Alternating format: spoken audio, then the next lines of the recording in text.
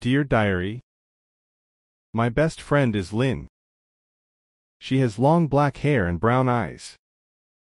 Lynn is always kind and funny.